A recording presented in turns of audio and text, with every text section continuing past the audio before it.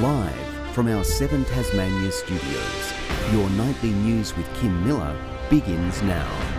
Good evening, everyone. First tonight, it's the news all Tasmanians were hoping for. Little Shayla Phillips found alive and well. The four year old spent two cold nights lost in bushland on the Tasman Peninsula. She was reunited with her mother this afternoon in what police described as a wonderful moment.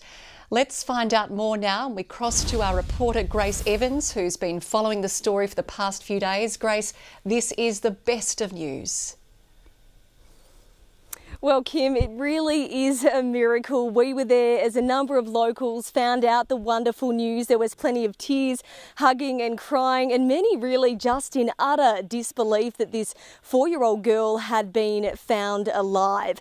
She was found just a kilometre away from her Stormlea home, and she popped her head up from some bushland and was noticed by an SES volunteer who then retrieved her.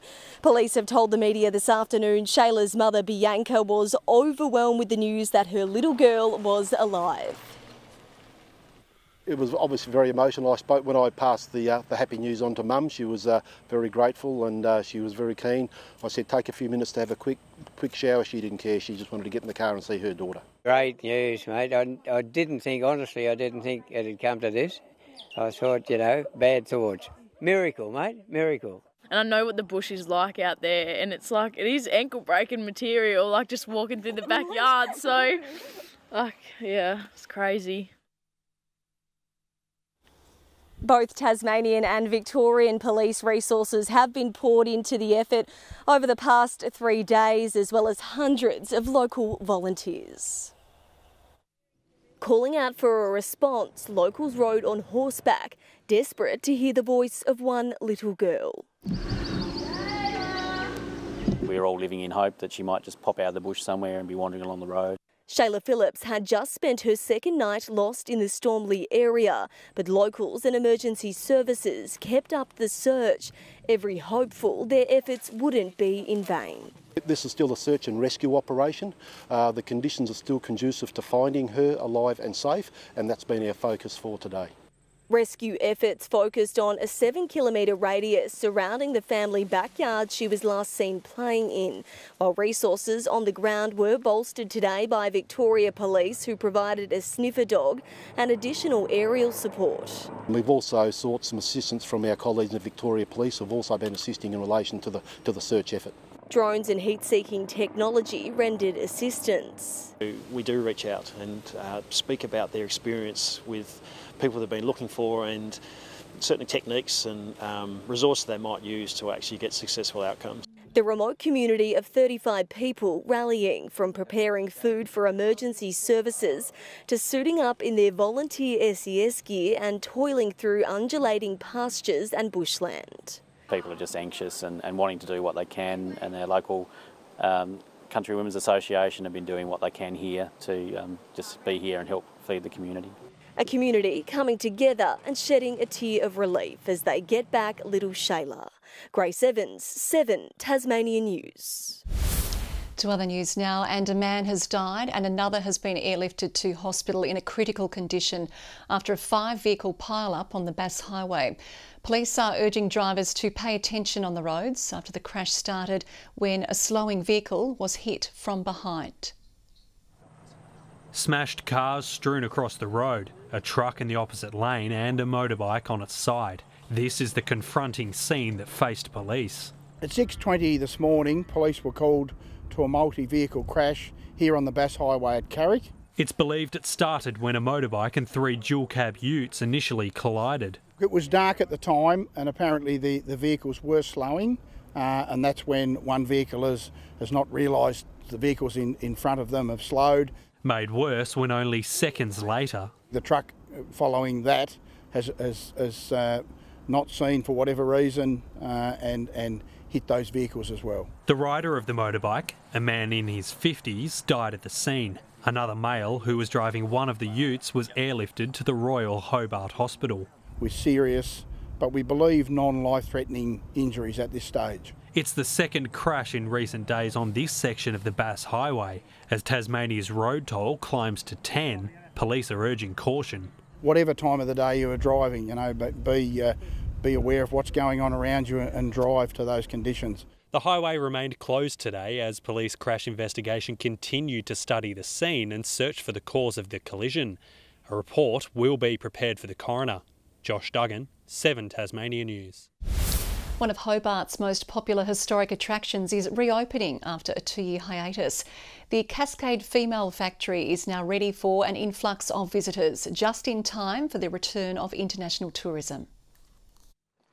A new visitor experience at Cascade Female Factory is set to tell the trials and tribulations of the convict era. There will be exhibitions and uh, you know imagery, uh, the multimedia um, work that's done here to really bring some, some direct experience to the people who visit here. It's hoped a new interpretation and history centre will help tourism bounce back when the site reopens tomorrow after two years of renovations. But after COVID finally moves through the system, we will see those numbers come back. It will be iconic, it will be important, not just for Tasmania, but all of Australia. As tourism continues to steadily increase, public health is urging everyone to stay safe. But among 5 to 11 year olds, the first dose vaccination rate has stalled at 62%. Pharmacies can now opt into the children's vaccine program to ramp up the rollout. Vaccination rates have slowed down for boosters and children aged 5 to 11 in recent weeks, and we need to turn this around. With infection rates amongst this age group a key driver of current case rates, we really do want to see the vaccination rates in our 5 to 11s get even higher. Tasmania recorded almost 1,800 new infections overnight, and with winter just around the corner, Public Health expects we could see up to 2,500 cases per day in the coming weeks due to a new and more transmissible strain of the virus. And we're now seeing those cases of the BA2 variant spread through the north and is now becoming also the dominant variant down in the south. The Premier has so far avoided becoming infected after a family member tested positive to the virus on Wednesday, and Peter Gutwein will leave isolation in a few days' time. Ainsley Kosh, 7 Tasmania News. Labor is calling for the state government to invest in Ambulance Tasmania services, warning wait times are among the worst in the country. Shadow Health Minister Anita Dow says an additional ambulance station is needed in the Channel region to help manage demand. We want to see more permanent paramedics on the ground here in the Huon Valley. We want to see a dedicated focus on funding an additional station for this region. The state government says it's recruiting 48 new paramedics across the state and has invested in a secondary triage service. Tasmania's aged care employees have taken to the streets in protest over poor working conditions. The Health and Community Services Union is fighting Southern Cross Care's threats to abolish paid meal breaks, a move that would see the already underpaid workers lose $3,000 each year. So what do we want? Paid meal breaks! Paid meal breaks are essential in aged care. It means that there is enough staff at each facility to attend to a situation when call bells are called or if a resident has a fall. The union claims half of Southern Cross care workers could leave if conditions don't improve. The Greens are backing calls to supercharge the Australian and Tasmanian hemp industry. Senator Peter Whish-Wilson says his party would invest $20 million to support research into products and marketing. It's a massive opportunity because Tasmania currently produces 80% of the country's hemp. However, the industry is not going to be able to capitalise on these massive global opportunities unless they get some serious government assistance. The global hemp industry is forecast to grow from $3.5 to $26 billion by 2025. The Symmons Plains has become the latest racetrack in the country to host the high powered future of supercars. Racing royalty was on hand to test the Gen 3 vehicles, which will join the ranks next year, bringing to an end a famous rivalry spanning more than half a century. They look like the type of cars you'd find in the city, but drive like they're strictly for the racetrack. From next year, the Chevrolet Camaro and Ford Mustang will be the sight and sound of supercars. A move to the future it's hoped will offer all the power without the price. The, the, laps I did this morning, they're as fast as the supercar is right now, so I expect to see, you know, fast speeds with them. The Torque twins are still in development. Who better to test their limits than racing legends Marcos Ambrose and Garth Tander? Really looking forward to finding out what all the hype's about. Both have tasted success at the Short Symmons track. Tander is a seven time winner. His warning for drivers the lap time difference between the front of the grid and the back of the grid so, so tight that you make a mistake at one of those three corners and you're up the back. Pit lane was today teeming with activity as the crew and wheels rolled in ahead of the weekend. Yet all the buzz was around this new breed of supercar, so I had to give them a try.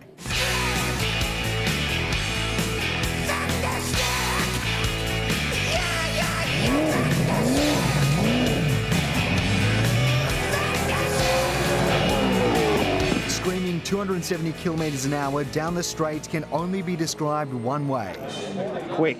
However, their introduction comes at a cost, ending one of Australian sport's greatest long-standing rivalries, Holden versus Ford. That's where our fans come for, you know, they're red or they're blue.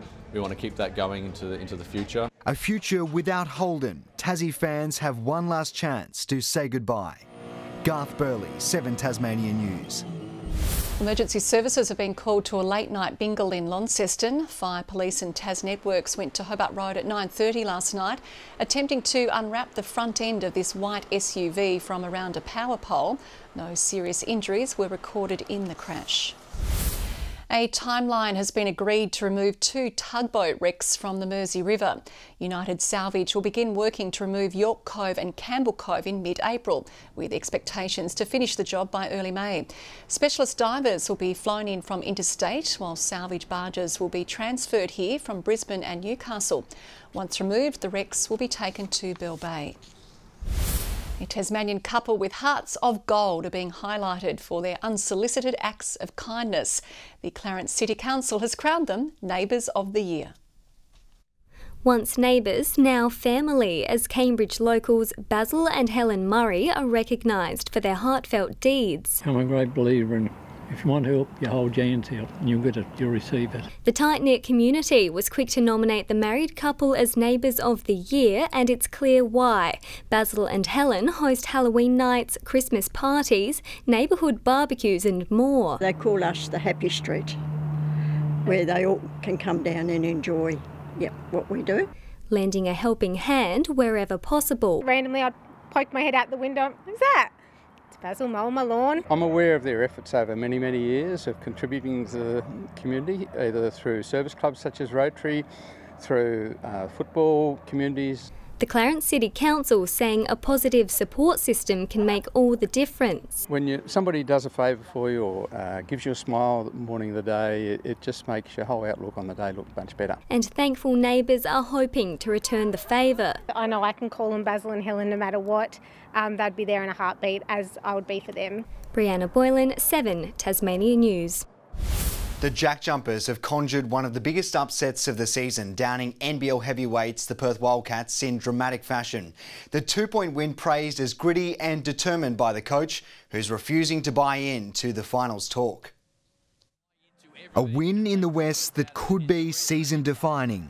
This is the most historic of victories for a Tasmanian franchise. Two points the margin, stunning the home side and keeping the Jack Jumpers in the finals race. We're humbled, but we're still hungry, and we, we have seven more games, and we'll see what we can do.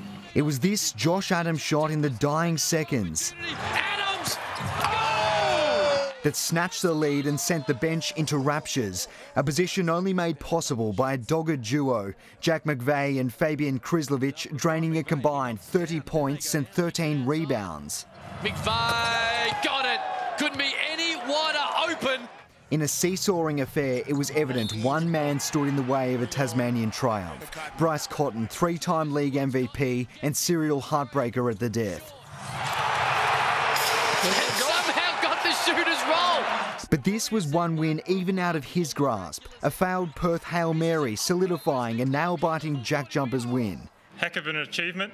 Um, another win in, in the W column, and um, we just got to we got to carry on. They've now beaten all top four teams. Little time to dwell on the success. They face Brisbane tomorrow. To soccer, where Devonport's NPL preparation has been cruelled by COVID. Coach Tom Ballantyne says he hasn't had a full squad at, squad at any training session or match day so far. The Strikers are preparing to meet last year's Premier Glenorchy. Both sides sealed comprehensive victories last weekend. This week in training has been really big for them. Um, you know, obviously, Knights got two results against Devonport last year, and they want to put that right this year. The match kicks off at Valley Road tomorrow afternoon. South Hobart Sandy Bay is in the driver's seat on day one of the Cricket Tasmania Premier League final after surviving an early scare against Newtown. The match was in the balance when the Sharks fell to 3 for 95, but captain Shaun Willis and Tom Andrews combined for a 175 run fourth wicket partnership. Andrews fell for 130 as the team finished the day on 8 for 323. With the TSL launching this week, tonight's Friday flashback is to one of the statewide league's most popular players. Known as the Weed, Wayne Weidemann made an instant impact in Devonport in the late 90s and played in one of the coast's most famous clashes. After attaining cult-like status at Adelaide, I don't know that it's booing, Pete. I think it's weed, weed, weed from all the Adelaide fans. The man known affectionately as the Weed made the ironic move to the Crows' biggest rival, Port Power, only the Devonport version. I once said that I'd probably never be caught dead on a Port Adelaide jump, but no, certainly this is a, a bit of a revised model. He had come to a club in crisis, reeling from a $30,000 fine for tax breaches and an ugly dispute with Port Adelaide over the Power name change. But Wayne Weidemann's rugged look and blue-collar playing style struck a chord with fans, instantly becoming the pin-up for the TFL and likewise the media. His shirt, tie and cardigan combo was the order of the day. But the biggest draw card came in a titanic clash between the coast's biggest rivals, Burnie and Devonport, in 1997. At a time when the TFL was usually drawing crowds in the hundreds, to have 6,000 roll into West Park was staggering, a then record for a home and away game. They came for a reason. Burnie and Devonport were dominating the competition, and the spite expected between the two sides lived up to expectation, the weed often at the centre of it all. Kids joined the goal umpire to get the all clear as Burnie went on to win by a goal. No reports were made, although brand new video evidence gave the league the chance to lay charges post game. As for the weed, he'd go on to represent Tasmania before going out on a high, winning the league's highest honour, the William Leitch Medal, in 1998. Uh, it's a no drinking code tonight, but Sure. we'll, we'll give that a miss. Well, ladies and gentlemen, let's toast. The number 33, one of the old Power's favourite sons, Tom Johnson, 7 Tasmania News. Good evening. Launceston's 25 today was a couple above average. Hobart and Burnie recorded 23 and Devonport 21. Most temperatures within a degree or two of normal. Wynyard and Bushy Park 23, Friendly Beaches and Grove 22, Low Head, St Helens and the Islands 21, Strahan 19. And a fine afternoon statewide after an early shower cleared the west. Just some patchy cloud over the Furneaux group as well. Western Australia has the cloud from the cyclone there, convective cloud with embedded thunderstorms over the top end southeast Queensland and eastern New South Wales. Tomorrow the trough continues over the mainland, a high to our east extends a ridge over us as well as points to the north and northwest. Winds west northwesterly at 10 to 20 knots about the south, north northeasterlies elsewhere as strong as 25 knots over the east, swells to 4 metres in southern waters. Saturday for Hobart, 23 and sunny. Mostly sunny for Maydena as well. 6 overnight, 24 the high, 22 for Oatlands and a sunny day. Mostly sunny for Launceston, 9 to 24 the temperature range, 21 the high for Devonport, sunny 2 for Liawenee and a top of 18 there. 20 the high for Burnie and partly cloudy, okay for Strahan, 21 the maximum, 22 for Marrawah. St Helens expecting 22. Mostly sunny, sunny for Swansea, 23 the top for Swansea and Orford. UV peaks at 6 tomorrow and high. On Sunday, fine and partly cloudy, temperatures pushing into the mid-20s, partly cloudy over the north on Monday, uh, a shower too over the south and northeast and west, fresh winds about the coast, and on Tuesday a 20 to 30% chance of a shower, but most of the state fine and partly cloudy. Showers in Perth tomorrow, sunny weather forecast for Adelaide and Melbourne, a showery 25 in Sydney, showers as well for Brisbane. Cloudy in Hobart, 19 at the moment. Clear in Launceston, 20, and Devonport currently 19 degrees. Kim, great to see you wearing the red in support of the Swans tonight. I'll give you a tip though, buddy. We'll only kick three this evening in the big win over Geelong, but he'll save his big event for the goals he kicks against the Western Bulldogs in a massive win in Melbourne the following week. Okay, um, we'll see what happens. I'm not sure how you know that, but we'll see what happens. That's all your news for this Friday. Thanks for joining us. Good night.